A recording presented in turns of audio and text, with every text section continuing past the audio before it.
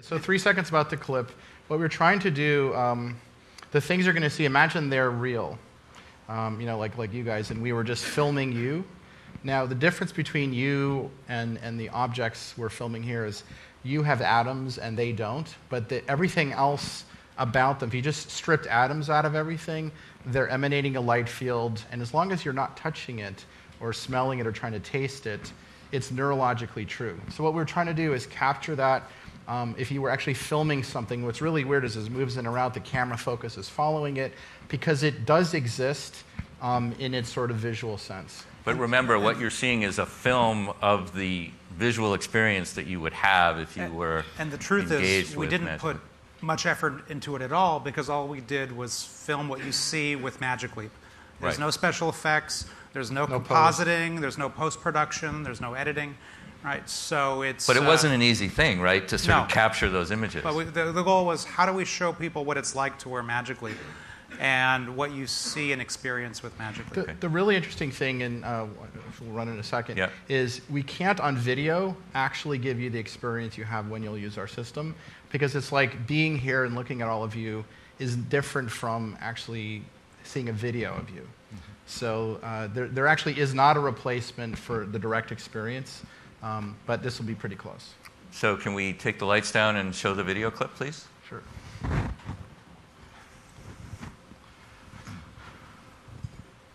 So you'll see uh, Gimbal. He's a little robot from a project we're doing, and he's hiding under a desk. And uh, for all intents and purposes, he's there. And uh, he's also aware of you and interacts with the environment and can look you in the eyes. And this is an interesting, uh, just like a whole bunch of planets floating over a desk. They're reflecting light on the table. Um, the person is kind of unaware of the planets there. But uh, th- it's like you had a solar system in your hand. So if you think about things like education, instead of reading about a textbook, like the entire universe just comes alive right there. So when I saw this for the first time, Rony, uh, particularly the gimbal, I thought, well, why is this different than, let's say, the experience I've had in a 3D movie where the character seems to come and sit right in front of my face and I can almost reach out and it seems like I can go touch it. So why, why is that gimbal, how is that gimbal different? Right. So we, if we talk about Gimbal, he's sort of like R2 steampunk, you know, ancestor or something. Um, if, if Gimbal was in the room with us, uh, there's no there's no projector, there's no display. You are experiencing like Gimbal is really there. Um, you're just not smelling him, and if you try to put your hand through it, it's like there is no atom to push back.